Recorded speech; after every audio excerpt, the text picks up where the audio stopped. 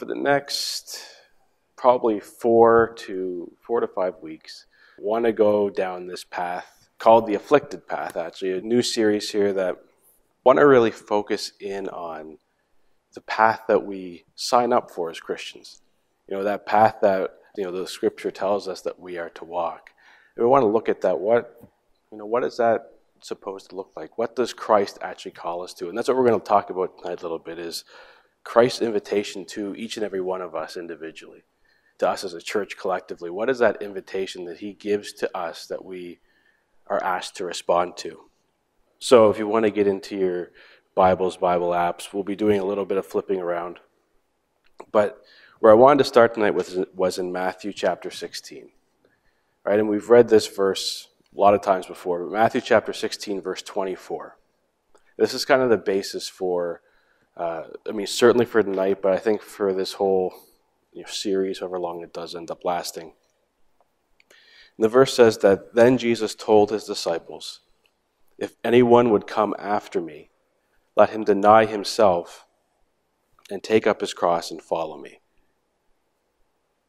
And, you know, we read that quite a bit, right? We read that all the time. And um, I think sometimes we can just kind of gloss over it probably a little bit because it just becomes so commonplace. But I want to talk about, or just think about, what does it really mean to follow after Jesus? You know, what does it really mean to be a disciple of Christ? And I think what's, what's happened in the church over time is we've kind of developed, I think, an, a somewhat unbiblical view of Christ's invitation to the church, to Christ's invitation to, to all of mankind. I think we've kind of developed a view that maybe isn't quite scriptural. And I'll, I'll explain what I mean by that. Because I think that it is perhaps most you know, exemplified in a question that each and every one of us at some point in our lives has either been asked or we have asked. You know, probably many times. And that question is, when were you saved?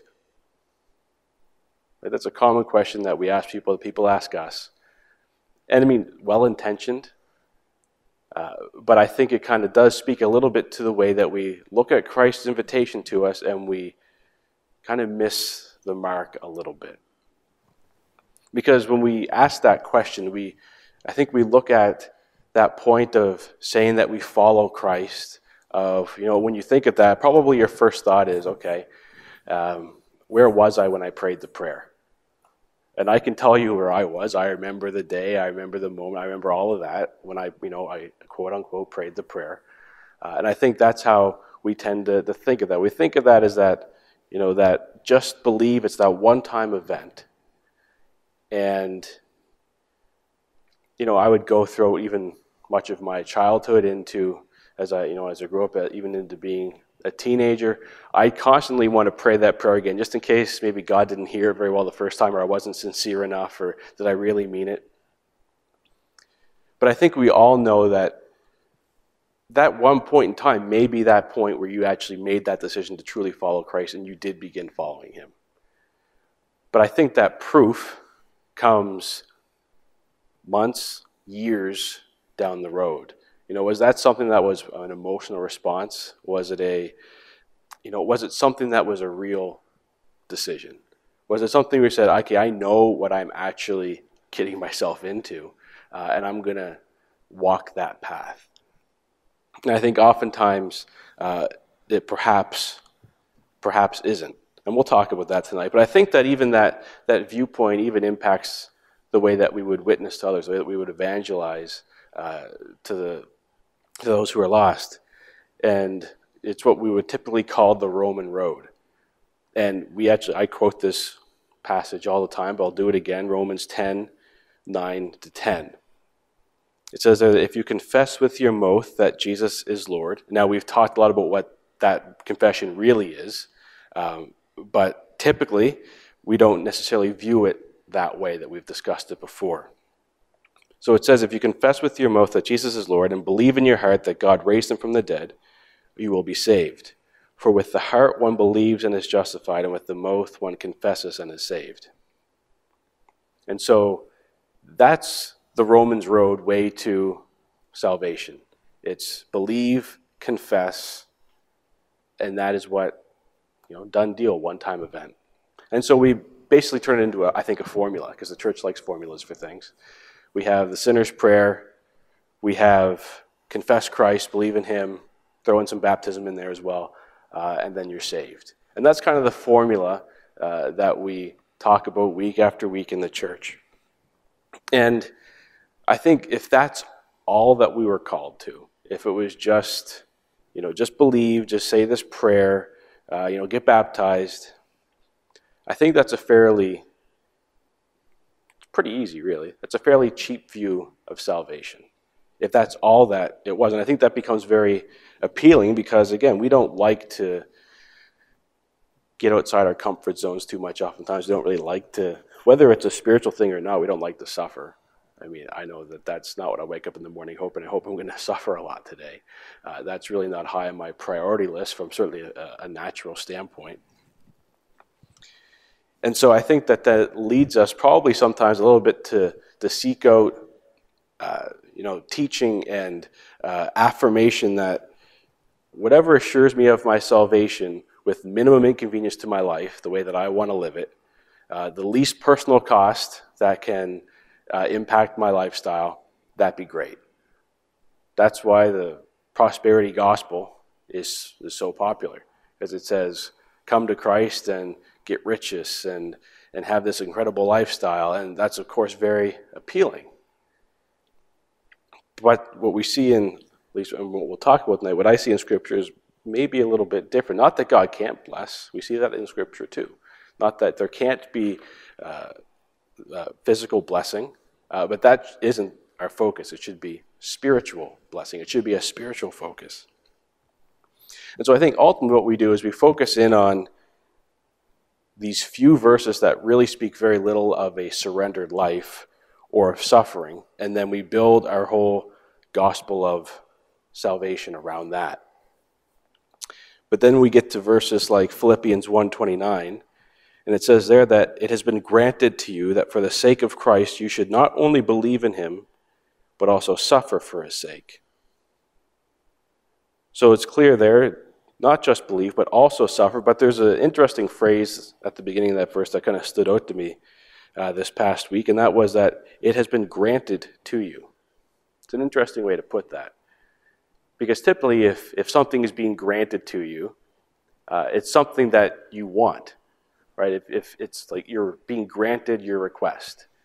And so that's interesting to say that it's been granted to you to not just believe, but to also suffer. As if we actually want to suffer. So why would that, I mean, that, again, naturally speaking, doesn't make a whole lot of sense, I don't think. Because uh, again, we naturally want the easy path. But if we go to 1 Peter chapter 4, and like I said, we'd be jumping around a lot. 1 Peter 4, uh, verses 12 and 13. Peter says, Beloved, do not be surprised at the fiery trial when it comes upon you to test you, as though something strange were happening to you. But rejoice insofar as you share Christ's sufferings, that you may also rejoice and be glad when his glory is revealed. So, again, first of all, Peter makes clear that suffering is a normal part of the Christian experience. You know, don't be surprised about that. That's what you're signing up for. When you accept Christ's invitation to follow him, that's part and parcel with it. But he says at the end there, rejoice insofar as you share Christ's suffering, that you may also rejoice and be glad when his glory is revealed. So I think that that, at least in part, ties back to Philippians 1 29, when it says it's been granted to you. You know, as if it's something we want. And I think Peter's saying, well, what we want is to rejoice and be glad when his glory is revealed. Because for that, we need to share in Christ's sufferings as well. So even though it might seem like, okay, do I want to suffer? Naturally speaking, no, but do I want the joy that is set before me when I do enjoy those sufferings? I think the answer there uh, becomes a yes. But I think, again, the, the natural tendency of, of just human nature in general is to seek out the easiest path possible, you know, the path of least resistance. You know, that is certainly the case for, I mean, it's not a perfect example, but in traffic. I'll drive around for an extra half hour to not have to sit in traffic. I look for the path of, the path of least resistance. As long as I don't have to sit there, I'm fine. So just naturally, want to avoid anything that is inconvenient for us. And the truth is, God has provided a path. We see that all throughout Scripture. And I think what we can identify is it's not necessarily an easy one. And we'll talk about that in a few minutes, but the path that we're called on starts with a narrow gate. And I believe it's that narrow gate that Paul is describing in Romans 10 that we just wrote, read a moment ago. Because Christ is the entry point into salvation. Right? So Christ, what we're talking about in Romans 10, that is our narrow gate in which we enter in. But after we enter in, there's more to come. But let's stick on this point first. We'll talk about the path, but let's stick on the entry point because I don't want to miss the entry point. That's a really important point. So let's go to John chapter 10 just for a minute. Uh, John chapter 10, verses 7 to 9. It says there that Jesus again said to them, Truly, truly, I say to you, I am the door of the sheep. All who came before me are thieves and robbers, but the sheep did not listen to them. I am the door. If anyone enters by me, he will be saved and will go in and out and find pasture. So, again, right back to Romans 10. If you want to enter in by me, if you will confess and believe, then you will be saved. Right? So that is a complete and finished act. Right? There's no you may be saved or you will most likely be saved. You know, nothing that gives any ambiguity that maybe, maybe not. It's he will be saved. And while that is part of Christ's testimony while he was here, it's not the entire testimony of Christ. You know, if that was all that he said, that was the only message, then we could stay there and be content.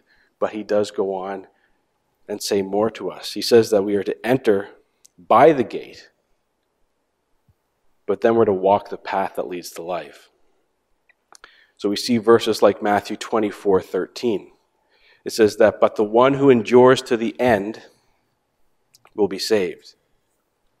I want to stop there for a second. I'm going to give a quick story there where I think, you know, when we look about look at starting to walk down a path um, where we need to endure to the end, I think a lot of us don't have, again, a natural, sometimes a natural comparison or a natural thing to draw on to really illustrate what that looks like. You know, Shannon might be the closest to us. He likes to go hiking a lot. He has probably to do learn to endure uh, to the end of a particular hike. And I can. Carrie's not here tonight, obviously, but um, when we were in Italy a few years ago, we were in this region uh, along the coast called Cinque Terre and there's this really famous hike uh, all up through like the vineyards and along the coastline. It's beautiful hike. Uh, there's some really steep areas, and in 40 degree heat in the middle of July, uh, it's not the most pleasant uh, path to be walking on. And so, one morning we got up early. We were trying to beat the heat. That didn't work it's just always hot. And we entered in through the gate. That was the easy part. Started to walk through the path for probably 45 minutes. Got to the point just can't do this anymore. This is too difficult. We turned around and went back and decided to just hang out in the town. Now, that's not a very good example for me of saying enduring to the end because I did not endure to the end. I gave up and went back. But for me, that's a picture of starting out in this path. It was not an easy path. It was actually very difficult. If it had been a flat path, it had been no problem. But there was lots of climbing, there was jumping over rocks. It was the toughest part of the whole journey. And it got to the point, could not endure that because it was difficult, turned around, went back.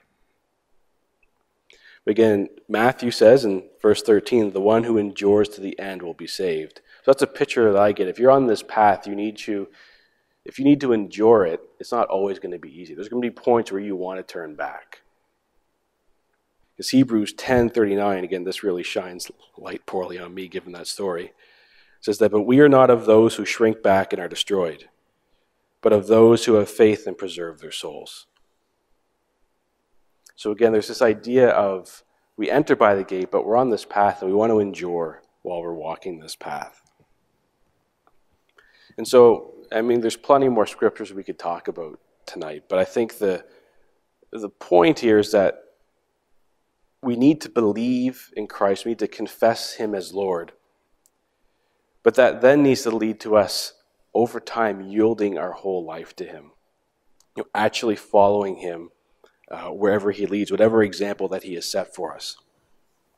You know, we've talked recently about uh, if we look at, we read through the various Gospels, there are some stories that appear in, in some Gospels, they don't appear in others. You know, some parables only pop up in one, one Gospel, etc. And sometimes, you know, some Gospels go into more detail, some don't. We've talked a lot about that. But one thing that every Gospel writer includes is that truth about the testimony of Christ. None of them skip that part.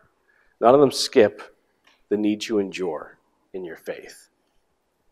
Right? So I think that's an important thing that we need to be able to recognize and hone in on. And we saw that right at the beginning when we talked about Matthew 16, 24 again. Deny yourself, pick up your cross, follow me. But we'll look at the other gospels as well. We'll read one more from Matthew, Matthew 19, 21. Jesus said to him, If you would be perfect, and this is Jesus to the, uh, the rich young ruler, if you would be perfect, go sell what you possess and give to the poor and you will have treasure in heaven, and come follow me.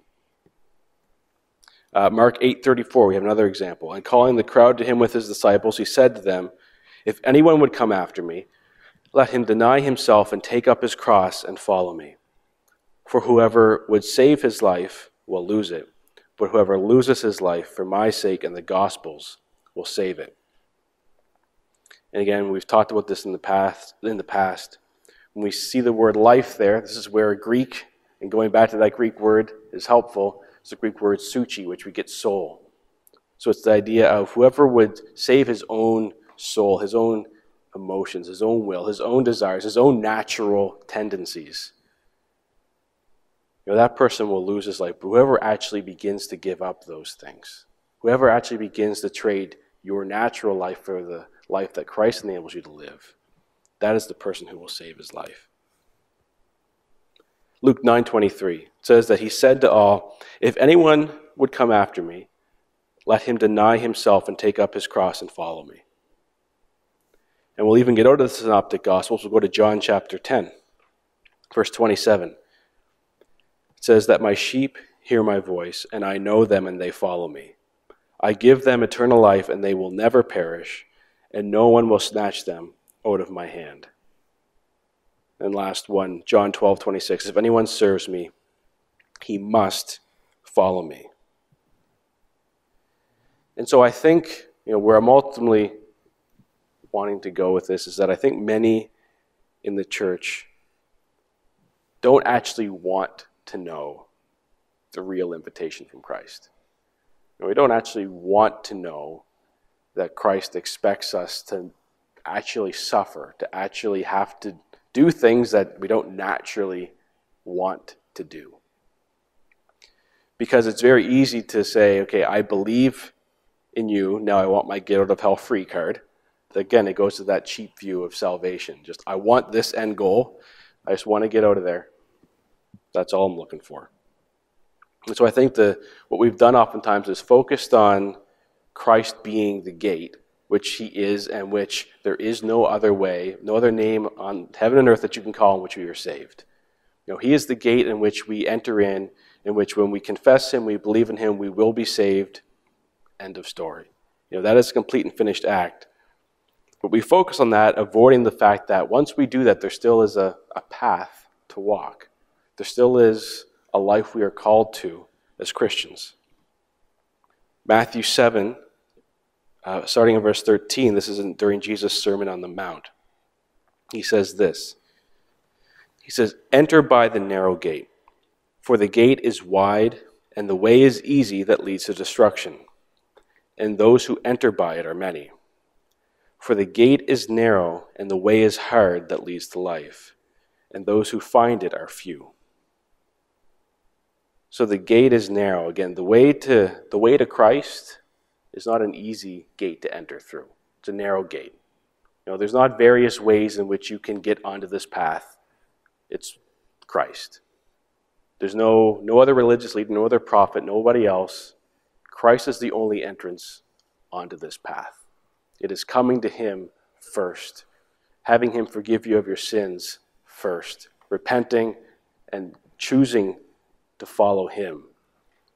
But then the way is hard that leads to life. Some versions say the way is afflicted, which is where we get the name for this particular series. So the gate is narrow, the way is hard that leads to life. And those who find it are few. Now, I think we would agree if we look at the, the church and, and you know encapsulate all the, the different denominations, including Catholicism and everyone that would claim to be Christian, we probably wouldn't say that that is few. That you probably say that that's quite quite a few. There, there are many. But the Bible says, Jesus says that there's going to be few who actually find this narrow gate and this, this hard path, this afflicted path that leads to life. So Christ's invitation isn't just to believe on him, it's to believe on him and also to follow him, to follow his example. And it's following him where there's cost involved. Right? The believing on him, that's his finished work on the cross. But in actually saying, Yes, I will follow you, there is cost for my life personally in saying that I will follow you. You know, we see that again in all of the Gospels. We'll just, I'll just read a couple examples. Luke chapter 14, verse 26 says, If anyone comes to me and does not hate his own father and mother and wife and children and brothers and sisters, yes, even his own life, he cannot be my disciple. Whoever does not bear his own cross and come after me cannot be my disciple. And those are pretty strong words. Again, it's not may not be my disciple, it's cannot. That's a very affirmative statement. I think sometimes though we look at well, what does he mean by hate my mother, my father? That's aren't we told to, to love people? So let's let's go to Mark 10 and, and uh, 1029 and maybe get a better understanding for uh, the tone, the, uh, the way in which this, this message is meant. As Mark says that from Jesus, truly I say to you, there is no one who has left house or brothers or sisters or mother or father or children or lands for my sake and for the gospel, who will not receive a hundredfold now in this time houses and brothers and sisters and mothers and children and lands, with persecutions, and in the age to come, eternal life. So it's talking about what do you love more? If we go back to the fall, we, we talked about Abraham who followed God into a new land. He left behind his old way of life. We saw that same thing in the story of, of Isaac and Rebekah. And Rebekah left her whole family behind to go on this new life towards Isaac, who he said was representing Christ in that story. And so this is, isn't about hating them, it's about willing to leave everything else behind, everything else that we know, that we care about, that we love, because we want to follow Christ, because we love Him more. It's not about hate, it's about who do we love the most? What are we willing to give up to follow Him? Luke 9 uh, 57 to 62 is the last example I'll give. It says that as they were going along the road, someone said to him, I will follow you wherever you go. And Jesus said to him, Foxes have holes, and birds of the air have nests but the Son of Man has nowhere to lay his head. To another he said, Follow me. But he said, Lord, let me first go and bury my father. And Jesus said to him, Leave the dead to bury their own dead. But as for you, go and proclaim the kingdom of God. Yet another said, I will follow you, Lord, but let me first say farewell to those at my home. Jesus said to him, No one who puts his hand to the plow and looks back is fit for the kingdom of God. And again, that might seem, some of those examples, that seems kind of harsh. But I think, or I know, that God knows the heart. That was the first excuse. I'm sure there were more coming. let me do this first. Okay, I got to handle this first. There's always going to be a reason why we can't follow. And so ultimately, we say it all the time, it comes down to a heart condition, I think. But in each of those encounters, it was after the issue of following Christ arose that the cost came up. Right? The cost arose after following Christ became an issue. You know, up until that point, there wasn't that cost, but actually following Christ involved a cost in each of those instances. So I think it's important. Let's define what it actually is to follow Christ very quickly because we don't have that much time tonight. But you know, for the disciples, in some respects, you could say it was pretty straightforward. It was hear his voice and do what he says. You know, it's obey his commands. And it's, I mean, it's much the same for us today from the perspective of a Christian discipleship always begins first and foremost with an invitation. Right? That was the case with the disciples as well. Matthew 4, 6, uh, 4 18 to 22 we see there that while walking by the Sea of Galilee, he saw two brothers, Simon, who was called Peter, and Andrew, his brother, casting a net into the sea, for they were fishermen. And he said to them, Follow me, and I will make you fishers of men. Immediately they left their nets and followed him.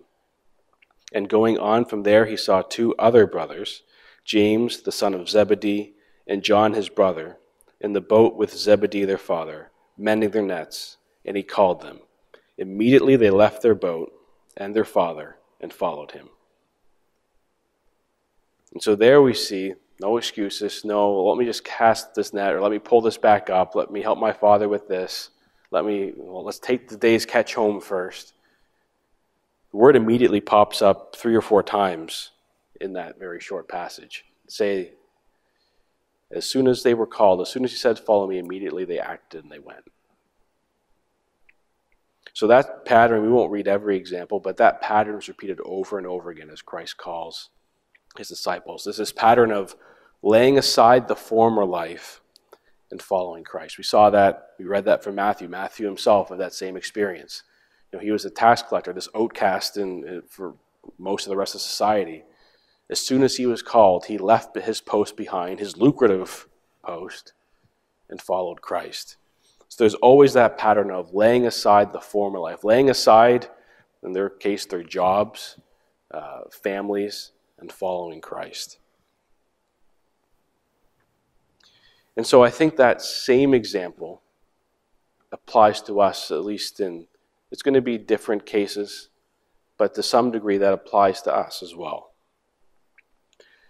I think where it is always the same and not circumstantial is that it's the laying aside our life that pertains to our soul. Our soul, again, being that mind, our will, emotions. You know, that soul that initially, before we come to Christ, identifies only with the spirit of the world that is in us. But after coming to Christ, it's that, again, that our mind, and our, our will, beginning to identify more with and respond more to the Spirit of God than the spirit that is in the world, the spirit that has ruled us to that point in our lives. You know, that's what it is to take on Christ as our leader, to Christ on our, as our guide, to take on Christ as the one that we are following, is to have our soul interacting more and more with the Spirit of God than the Spirit of the world. And so, even though I think, I mean, I know I've had the thought plenty of times that, you know, it'd be kind of great if, if Christ could have been alive in my lifetime, um, you know, it'd be so much easier just to actually have him physically here telling me what to do. I know I'd do it then, because, I mean, is Jesus telling me to do it? I mean, why would I question him? It'd be so much easier if he was just right, always constantly behind me. Hey, Shane, do this, or I want you to do that now. It sounds, in so many respects, like you know those twelve disciples and, and the many others that that that followed him. Well, they had it so much better. And even though Christ isn't here, obviously, physically, you know, he still does give us guidance. And he even said, we know we can re- recall some of his last words to the disciples, it's better that he were to go. And I've always found that to be an interesting statement. But I want to read something from 1 Corinthians chapter 2. Uh, 1 Corinthians, and if, just turn there for a moment because I think this is a really important passage. 1 Corinthians chapter 2, verses 10 to 12. And it's important because I think this gives the answer of why, in no uncertain terms, it is better that Christ has gone and sent the Spirit than he had, had been stayed. So it says there that these things God has revealed to us through the Spirit. For the Spirit searches everything, even the depths of God. For who knows a person's thoughts except the Spirit of that person which is in him? So also, no one comprehends the thoughts of God except the Spirit of God. Now, we have received not the Spirit of the world, but the Spirit who is from God, that we might understand the things freely given us by God. Now, if you missed that, let me recap. It's saying that who knows a person's thoughts except the spirit of that person? Right? The spirit of the world, the spirit that is within us, knows our thoughts. That's how we know what we're thinking. And it says that the spirit of God searches even the depths of God, that the spirit of God knows the thoughts of God.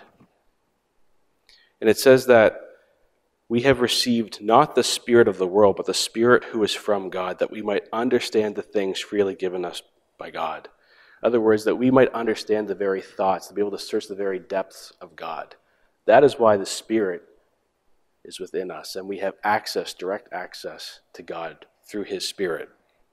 So Christ sent His Spirit to reveal the thoughts of God to mankind, to each and every one of us. That is how we can know the will of God for our lives. It's through the Spirit of God in us. Right? So Christ, if we look through his example that he set for us, if we look through the example in his, his three plus year ministry, you know, after he was baptized, we see that, that scene where the, the, the dove descends from heaven, the Spirit comes upon him. And from that moment forward, his ministry begins because the Spirit is working within him. Now, the disciples didn't have that at that point in time. They didn't have that, of course, until the book of Acts. They didn't have that until that point. And so for them, it wasn't until that point that they could truly follow Christ, truly allow the Spirit to work within them, to have that direct communion with God. Until that point, they were learning from Christ, but they didn't have that same experience that Christ had. And so, if we look at what was Christ's actual example, while he was here on earth, during his ministry, he was led by the Spirit in all things. He always would pray to the Father before doing anything. He was constantly in tune with the Spirit and knowing the will of the Father.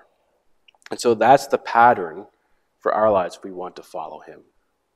It's having the Spirit in us, being led by the Spirit in all things. So if we don't put our soul, our, our own will and emotions to death, if we don't begin to identify more with the Spirit of God and follow more to the, the Spirit of God as opposed to the Spirit of the world, we will never have that experience of following Christ. John chapter 5, 19 to 20 says this. It says that Jesus said to them, Truly, truly, I say to you, the Son can do nothing of his own accord, but only what he sees the Father doing. For whatever the Father does, that the Son does likewise. For the Father loves the Son and shows him all that he himself is doing.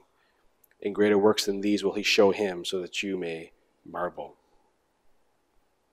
So, how does he see what the Father is doing? Is through the Spirit of God that was within him. That's the pattern for us to follow as we begin to commune more and more with the Spirit of God in us. That's what it means, I believe, to follow Christ. You know, that's always been the invitation. It hasn't been, when did you pray the prayer? You know, when did you make that momentary decision? But what did that, not that you can't pray the prayer, but what did that lead to? What has your life looked like since then? You know, so it's not merely enough to believe and confess certain things about him. Because we can all say, if we've been in church long enough, you know how to say the company line. You know, you know the right things to say, the, the, ways to act, and you can fool everybody else. not saying that's any of us, but I mean, you, you know you that you know that that is the case, and you've all, I'm sure, seen throughout your life people that you perhaps grew up with in the church that have since long walked away from the faith. That for the longest time, you know, they were playing the game or they were putting on a good show. But had they ever truly began walking that hard path, but never truly hearing from the Spirit of God and putting their soul to death, their own natural response to things as opposed to actually seeking out the Spirit of God. And so, this invitation, as we kind of begin to wrap this up tonight, this invitation that we're talking about is to ultimately enter into a spirit led life where we do nothing of our own initiative. That was Christ's example. He did nothing. We see that over and over again that he did nothing of his own initiative. He did nothing that was not the will of the Father. That's what we're called to. You know, that's our invitation as believers. You know, as a disciple, if we were to walk as Jesus walked, and we say this all the time, the student needs to become like the master. You know, the student needs to become like the teacher.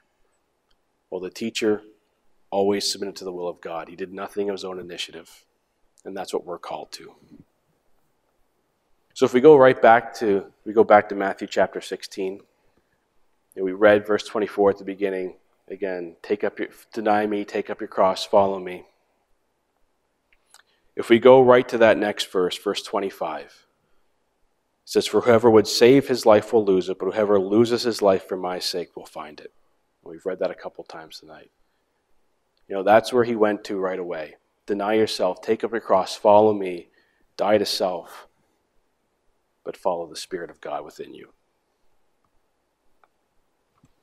And so I think that, you know, based on Christ's own illustration of a narrow gate and a, and a, a hard way, a hard path, an afflicted path, I think that we could say that many have perhaps entered the gate uh, but not necessarily found that path that leads to life.